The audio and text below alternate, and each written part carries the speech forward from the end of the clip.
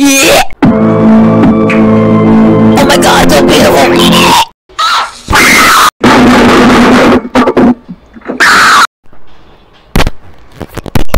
Ladies, get busy.